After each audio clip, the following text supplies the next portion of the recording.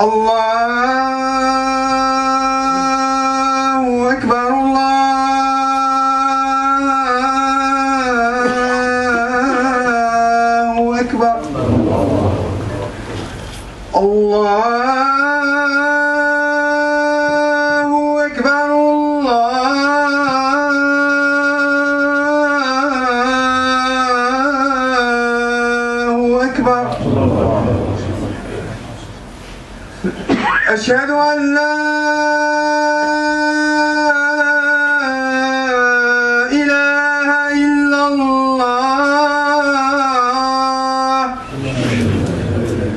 أشهد أن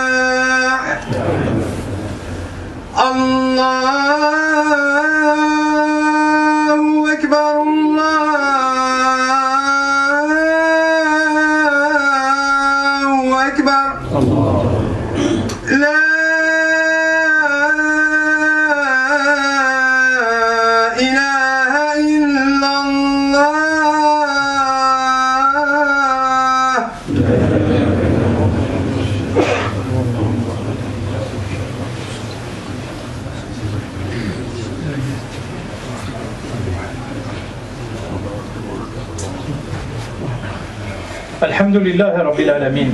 الحمد لله الذي هدانا لهذا وما كنا أن نهتدي لولا أن هدانا الله. ونشهد أن لا إله إلا الله وحده لا شريك له ولي الصالحين. ونشهد أن محمدا عبده ورسوله صادق الوعد الأمين. أدى الأمانة وبلغ الرسالة. ونصح الأمة وكشف الله به الغمة وتركنا على المحجة البيضاء. ليلها كنهارها لا يزيغ عنها إلا هالك.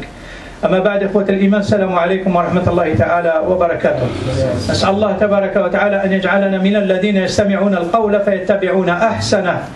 اللهم لك الحمد يا رب العالمين على هذا النعمة التي أنعمت علينا وعلى نعمك التي لا تحصى ولا تعد. فإخوة الإيمان حديث عظيم جدا. عظيم جدا لأنه حديث من النبي صلى الله عليه وسلم. ولكن قليل ما يذكر ولو أنه حديث متفق على صحته البخاري ومسلم وأصحاب السنن إلى آخره. فهذا الحديث عن أبي موسى الأشعري رضي الله عنه رسول الله صلى الله عليه وسلم يقول إن الذي بعثني الله به من الهدى والعلم كمثل غيث كمثل غيث أصاب أرضا فكانت منها طائفة طيبة قبلت الماء وأنبتت الكلأ والعشب الكثير. وكان منها وكان منها كذلك أرض فأمسكت الماء. أمسكت الماء فنفع الله بها الناس فسقوا فشربوا منها وسقوا وزرعوا. وطائفة وأصابت طائفة منها أخرى فإنما هي قيعان. قيعان معناها أرض لا تنتج شيء. فيقول لا حبست ماء ولا أنبتت كلأ. فذلك مثل يقول الرسول صلى الله عليه وسلم فذلك مثل الذي فقه في دين الله. ونفعه الله بما نفعه بما بعثني الله به. فعلم وعلم. ومثل مثل آخر ما رفع به رأسا ولا ولا قبل ما أنزل الله والذي بعثت والذي أرسلت به. هذا قول النبي صلى الله عليه وسلم. في معنى الحديث أن هذا النبي صلى الله عليه وسلم يخبرنا في هذا الحديث حديث عظيم جدا. يخبرنا أن الذي بعثه الله به ما هو الهدى؟ الهدى هو القرآن.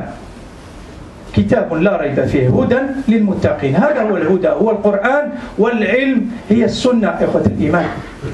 فكانوا الصحابة يدعون العلم السنة. السنة يدعونها علم لأن علمه الله سبحانه وتعالى. فهذا الهدى والعلم الذي بعثه به النبي صلى الله عليه وسلم يضرب مثلا كأنما هو غيث. غيث هو المطر أصاب أرض أرض طيبة قبلت الماء. فأنبتت الكلأ والعشب يعني والأعشاب الكثيرة وانتفع بها الناس. نفعت نفسها هذا الأرض ونفعت الناس كالعالم الذي ينفع نفسه هو الأول قبل ما ينفع الناس كذلك. هذا هو المثل. يا أخوة الإيمان والرسول صلى الله عليه وسلم يتكلم على علم. العلم الله سبحانه وتعالى إذا أعطى العلم الإنسان فهذا الإنسان ينفع نفسه ويطبق واش أمر به الله تبارك وتعالى قبل ما يتكلم للآخرين. هذه هي الأرض الطيبة. والأرض يقول الرسول صلى الله عليه وسلم أرض أخرى. ما هي؟ هي جرداء هذا الأرض هذه. ما حبست الماء ولكن ما انتفعتش به. ما نض فيها العشب ولا حبست الماء برك ما قدرش حتى يدخل لها فانتفع فنفع به الله الناس. كيف نفعهم؟ فشربوا منه وسقوا البهائم وكذلك زرعوا منه فهذا كالعالم الذي هو عنده العلم ولكن ما ينفعش نفسه يا إخوة الإيمان. فالله جعل هذا السبب باش ينتفعوا به الآخرين ولكن هو ما ينفعش نفسه لأنه ما يطبقوش على نفسه. ولا المثال الثالث اللي ضربه الرسول صلى الله عليه وسلم الأرض قيهان. هذا الأرض هذه اللي هي من لا تنفع ما نفعت نفسها ولا عندها شيء ينفع. فهذا الأرض قيعان ما حبست الماء جاز مرة منها وراح جهة أخرى وما آه، أنبتت الكلأ ولا العشب. فانتفعوا به الناس. فهذا هو حال يقول الرسول صلى الله عليه وسلم مثل هذا كمثل الذي فقه في الدين فقهه الله. من؟ الله سبحانه وتعالى رسول الله صلى الله عليه وسلم ها هو يشهد يقول من أراد الله به خيرا فقهه في الدين. يكن الدين هو الله سبحانه وتعالى إذا أراد الخير للعبد يفقهه في الدين. فهذا من فقهه, فقهه الله في الدين فنفعه الله بما أنزل على محمد فتعلم وعلم الناس. هذا هو. والمثل الآخر يقول الرسول صلى الله عليه وسلم ما رفع به رأسا وإحنا سمعنا عمر بن الخطاب يقول عن النبي صلى الله عليه وسلم أن هذا الكتاب رفع الله به أقوام وأحط به آخرون. نعم إخوة الإيمان. فهذا الإنسان هذا اللي ما ينفعش الناس وما ينفعش نفسه ممكن بالك ولكن ما ينفعش نفسه.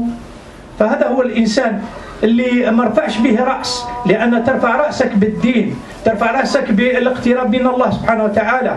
أعزنا الله تبارك وتعالى بهذا الدين فنكون من الأعزاء الذين يطبقون أوامر الله سبحانه وتعالى. ولم يقبل ما الهدى الذي بعث الله به رسوله.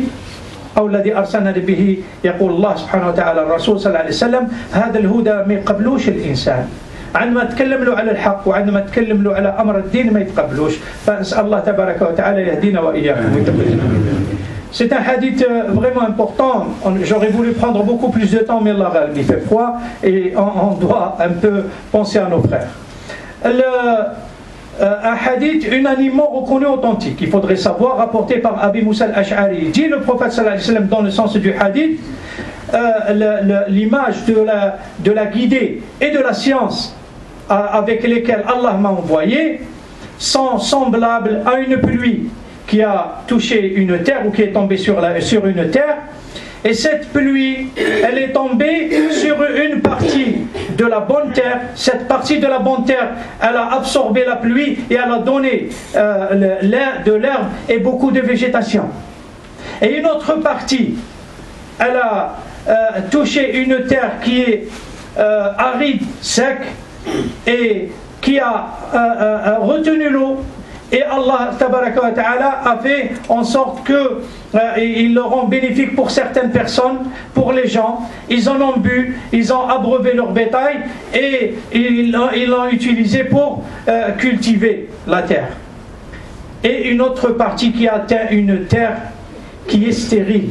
Et qu'est-ce que c'est que stérile? C'est-à-dire ni elle a retenu l'eau, il a dit le prophète ni elle a fait pousser de l'air. Et cet exemple, cette image-là, il dit le prophète sallallahu alayhi wa c'est l'image de celui qui s'instruit dans la religion d'Allah. Et que Allah ta'ala lui rendra utile ce qu'il m'a, ce à quoi il m'a envoyé, ou ce euh, euh, qu'il a envoyé vers moi, c'est-à-dire la religion, et il a appris et enseigné cette personne. Et il dit un autre exemple, celui-là, que l'autre image, c'est une personne qui n'arrive pas à lever la tête avec cette religion et qui euh, rejette ou n'accepte pas la guidance avec laquelle Allah il a envoyé son messager. Voilà ce que nous dit le prophète sallallahu alayhi wa sallam dans ce hadith, unanimement reconnu authentique. Et je sais que normalement ça demande beaucoup de temps pour l'expliquer, mais brièvement, il parle de la science, le prophète sallallahu alayhi wa sallam, il parle de cette science que Allah ta'ala a donnée. Cette guidée, c'est la religion, c'est le Coran. Et la science, c'est la sunna du prophète sallallahu alayhi wa sallam, c'est comme ça que les compagnons appelaient la sunna, l'ilm, ils l'appelaient la science. Allah c'est lui qui l'a enseigné. Il l'a dit dans le sens, du verset. Et euh, pour la guider, c'est euh, ce Coran qui est une guidée pour euh, les croyants. Hudan les muttaqin pour les, pieux. donc, donc, quand Allah ta'ala donne la science à quelqu'un, il a, donné une métaphore, le prophète sallallahu alayhi l'exemple d'une terre qui est bonne, telle une bonne personne, qui non seulement commence apprend la, religion, mais commence par lui-même avant de s'adresser aux autres. Avant de s'adresser aux autres, on commence par nous-mêmes. Et c'est ça, cette terre qui, d'abord elle a absorbé l'eau, ensuite elle a donné la verdure, elle a donné de l'herbe et beaucoup de verdure. C'est l'exemple d'un savant qui, lui, il apprend la science, ensuite il la transmet et c'est que verdure et euh, euh, de l'herbe qui sera utile, c'est-à-dire dans le sens. Et l'autre exemple, c'est quelqu'un qui a de la science, mais il ne s'en sert pas, il ne l'applique pas.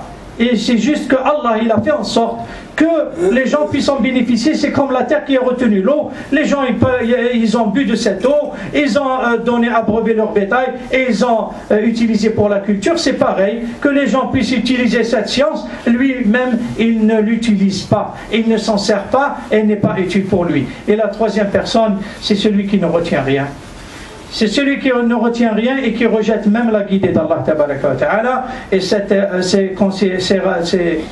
c'est-à-dire euh, euh, donner comme exemple comme une terre stérile, cette terre stérile, ni elle retient l'eau, ni elle fait pousser de l'air. فهذا ما جاءنا به النبي صلى الله عليه وسلم لماذا أقول هذا الأمر هذا لأن تنبؤات الرسول صلى الله عليه وسلم في هذا العصر يعني في قروب الساعة عند قروب الساعة يقول من أشراط الساعة وهذا حديث النبي صلى الله عليه وسلم يقول من أشراط الساعة أن يلتمس العلم عند الأصاغر. ما يقصد بالأصاغر؟ هل الأصاغر في السن ولا الأصاغر في العلم؟ الاثنين معا. الاثنين. اللي عنده علم صغير باش يتكلم به برك ويبان أمام الناس واللي آه، هو صغير حديث النشأة. فهذا هما الأصاغر إخوة الإيمان. فهذا أصبحنا نلتمس العلم عند الأصاغر فلهذا راهي قروب هذا من أشراط الساعة أو يعني من علامات قروب الساعة كما بينها النبي صلى الله عليه وسلم لنا. ويقول ابن مسعود رضي الله عنه وأرضاه الحديث يعني في سلسلة صحيحة. يقول لا يزال الناس بخير ما أخذوا العلم عن أكابرهم. فإذا أخذوه من أصاغرهم أو من شرارهم هلكوا. فما نبحثوش كثير عن أسباب الهلاك فرانا موجودين فيها إخوة الإيمان. نسأل الله تبارك وتعالى يثبتنا وإياكم عندما ما ناخذوش العلم كما قال يعني حتى ابن عثيمين قال والله الجامعة ما تعلمت فيها شيء إلا تعلمت عند المشايخ وكذلك كلام ابن باز وكذلك آخرين. يعني باش نهضر غير المعاصرين خلي هذا العلم هذا نستخدم عند المشايخ والأكابر. على الحق الطريقة الحق الطريقة الصحيحة. فلسنا نأخذيه لا عن الشرار الناس اللي يأمرون الناس بالبر وينسون أنفسهم قد ذكرهم الله سبحانه وتعالى. ولا عن الأصاغر اللي راه مازالوا في حدة وفي شدة وفي سفاهة وهو موش عقله ما اكتملش. كيف يقدر يعطيك أمر من هذه الأمور؟ نسأل الله الثبات وإياكم. آه on est à l'approche de, la fin des temps parce que c'est des prémonitions du prophète sallallahu alayhi wa sallam. Il nous dit dans ce hadith, écoutez bien, le prophète sallallahu alayhi wa sallam, il nous dit que parmi les signes de la fin des temps, c'est le fait de rechercher la science auprès des jeunes. Et on parle de jeûne, qu'est-ce que ça veut dire jeûne Est-ce que jeûne dans la religion euh, euh, uniquement ou euh, jeûne parce qu'il a peu de religion? Eh bien jeûne parce que c'est un jeune homme, c'est un petit, et jeûne parce qu'il n'a pas beaucoup de religion. Asar en arabe veut dire petit, mais le petit par rapport à la religion. Il apprend juste pour euh, se montrer devant les gens ou transmettre ce qu'il doit transmettre, mais il ne lui est pas utile à lui-même. Et le jeune, parce qu'il n'a pas encore acquis beaucoup d'expérience, pour lui permettre de transmettre en toute équité et en toute euh, euh, clairvoyance. Voilà ce que nous dit le prophète sallallahu. C'est parmi les signes de la fin des temps. Mais aussi Abdullah bin Mas'ud que le prophète sallallahu nous a recommandé. Et Abdullah bin Mas'ud il dit que ça c'est dans la sahiha, dans c'est authentique. Le, le, le, hadith. Euh, Abdullah bin Mas'ud il dit que les gens ne seront, euh, c'est-à-dire seront toujours dans le bien tant qu'ils prendront leur science de parmi les grands parmi eux. Et s'ils le prennent des petits parmi eux ou des mauvais, donc ils seront euh, euh, dans le sens halakou, euh, ils seront yani, euh, détruits ou pareillement yani, seront dans le sens de détruits. Enfin, périr ils vont périr. Pourquoi? Parce que on ne prend la science, comme l'a dit Ibn Utaymin ou Ibn Baz, si je ne dois citer que ces deux-là, je dirais que la science, il a dit Ibn Utaymin, malgré qu'il a fait des études dans l'université, il a dit que je n'ai appris qu'avec les, les, les, anciens parmi nous et ceux qui détenaient la science, c'est-à-dire les grands, les personnes. Et euh, pareil pour Ibn. C'est pour cela que Abdallah bin Mas'ud, qui était le compagnon du prophète sallallahu alayhi wa que nous a recommandé le prophète, il nous dit que c'est de ces gens-là qu'on doit prendre la science, non pas des jeunes qui n'ont pas encore, qui sont fougueux, qui sont encore euh, sots dans leur esprit, qui n'ont pas à acquérir beaucoup d'expérience, mais ni des mauvais. Les mauvais parmi nous, ce sont ceux qui disent aux autres de faire des choses qu'ils ne feront pas eux-mêmes. نفعنا الله وإياكم بالقرآن العظيم وما جاء فيه من الآيات والذكر الحكيم. وبسنة النبي الكريم أقول قولي هذا واستغفر الله العظيم لي ولكم ولسائر المؤمنين. فاستغفروه إنه الغفور الرحيم.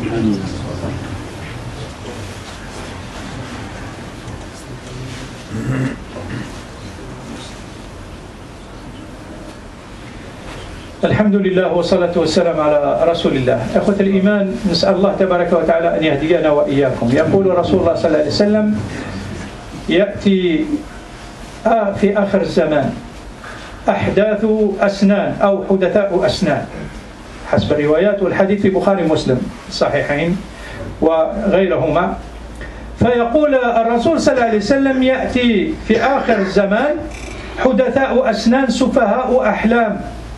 يمرقون من الإسلام كما يقولون بخير قول البارية يمرقون من الإسلام كما يمرق السهم من الرمية. لا يتعدى إيمانهم حناجرهم. فهذا الحديث عظيم جدا ولازم وقت باش نشرحه ولكن نكتفي بهذا القدر. انظر إخوة الإيمان المثل الذي ضربه النبي صلى الله عليه وسلم. يخب يخبرنا باللي في آخر الزمان يكونوا ناس حدثاء أسنان أو أحداث أسنان يعني شبان صغار. صغار في العلم وصغار في العقلية وصغار في العمر في السن. فسفهاء أحلام ما معناها سفهاء أحلام يعني عندهم آه، آه، سفاهة في الحلم تاعو كالإنسان اللي ظن أنه هو خير من الآخرين كلهم.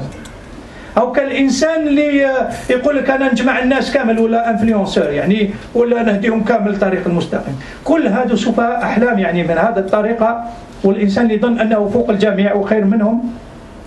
ويقول يتكلمون بقول خير البرية. ما هو قول خير البرية؟ هو القرآن. يتكلموا بالقرآن.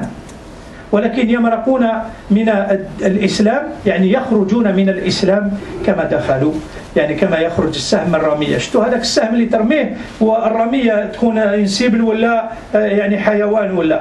يدخل هذاك السهم ويخرج منه ما يطرق عليه حتى تغيير.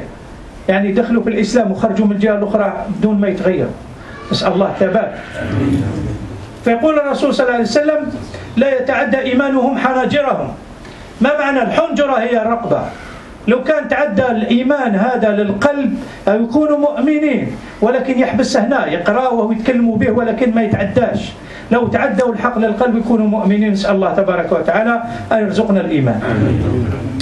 Euh, je vais finir avec ça, avec ce hadith qui est dans les deux authentiques minimum, euh, ainsi que d'autres, et, et, d'autres. Ce hadith, le prophète sallallahu alayhi wa sallam, il dit à la fin des temps, il va y avoir des jeunes gens aux, euh, aux idées sautes ou, bien aux rêves sauts. Et il dit qu'ils parleront de la meilleure parole de l'humanité. Et ils sortiront de l'islam comme sort la flèche de sa cible. Et leur foi ne dépassera pas leur gosier. Et on va voir à travers ce hadith que le prophète sallam nous informe que dans la fin des temps, il va y avoir des jeunes gens, des jeunes dans la religion, ou euh, peu de religion aussi, et qui vont parler pour tout le monde. Et qu'ils vont parler la meilleure parole de l'humanité, c'est l'islam bien sûr c'est l'islam. Et ils ont des rêves sots. Qu'est-ce que ça veut dire des rêves sots? C'est-à-dire que euh, des ambitions euh, sautent. C'est-à-dire que les gens, ils croient qu'il est au-dessus de tout le monde, il comprend mieux que tout le monde, il va euh, guider tout le monde, et ainsi de suite. C'est devenu un influenceur et, c'est l'époque dans laquelle on vit, on vit malheureusement. Et il dit le prophète sallallahu qui sortiront de l'islam comme sort la flèche de sa cible. Vous savez, une flèche, quand elle transperce la cible et elle sort de l'autre côté, il n'y a aucune transformation dans la flèche. Elle est comme elle est. Il rentre dans l'islam comme il est, il ressort de l'autre côté sans avoir eu euh, à se transformer et à se conformer à l'islam. Voilà ce que nous dit et qu'il dit que leur poids ne dépassera pas leur gosier, qu'Allah nous en préserve. Pourquoi? Parce que si elle dépasse leur gosier, elle arrive au cœur, ce sera incroyable. La foi est dans le cœur. Si elle n'arrive pas au cœur, donc ça reste là, elle ne dépassera pas le causé. نفعنا الله وإياكم نسأل الله تبارك وتعالى أن يجعل جمعنا هذا جمعا مرحوما وتفرقنا من بعده تفرقا معصوما ولا يدع فينا ولا معنا شقيا ولا محروما اللهم أعنا على ذكرك وشكرك وحسن عبادتك. اللهم اهدنا فيمن هديت وعافنا فيمن عافيت وتولنا فيمن توليت وقينا واصرف عنا شر ما قضيت وبارك لنا فيما أعطيت. فإخوة الإيمان كل إنسان اللي عنده مريض واحد مرته خالته واحد كل إنسان اللي عنده ميت كل إنسان اللي عنده يعني حاجة فنسأل الله تبارك وتعالى أن يقضي حوائجنا أجمعين. إخوة الإيمان والله أعلم بكل واحد فينا إن شاء الله. فنسأل الله تبارك وتعالى أن يتقبل منا ومنكم وأن يفك أسراكم وأن يشفي مرضاكم وأن يشفي مرضانا ومرضى المسلمين ويرحم موتانا وموتى المسلمين. اللهم اهدي أبنائنا وبناتنا لما تحب وترضى يا رب العالمين وقوموا إلى صلاتكم يرحمكم الله.